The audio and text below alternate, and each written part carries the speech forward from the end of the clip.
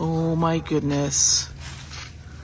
I bet you, nobody can see this. And I'm holding it very steady just in case. Oh gosh, it's better over this way. There's snow. Snowflakes, people. Um, yep. First snow of the season.